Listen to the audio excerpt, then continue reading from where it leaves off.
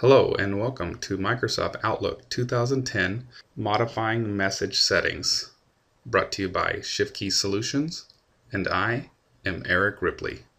In this video tutorial, we'll be creating an email message to someone that has a high importance level and also a personal sensitivity level. So, in order to do that, we're going to come and create a new email message.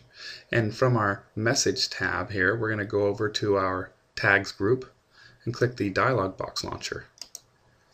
From our properties dialog box, we're going to come here to our settings group and click the importance drop down and change this to high. And then for sensitivity, we're going to change this to personal. From here, we're going to click close and we'll notice that the high importance is now highlighted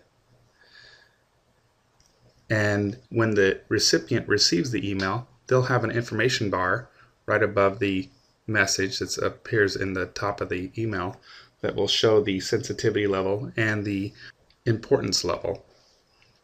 And that's all there is to it. I hope this was helpful. Thanks for joining me.